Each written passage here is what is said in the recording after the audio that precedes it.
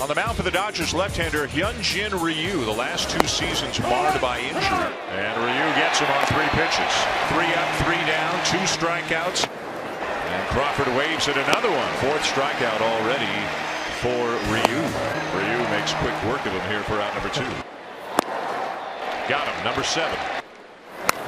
Catch is made. Here comes the runner. Here comes the throw, and he's out easily at the plate to end the inning.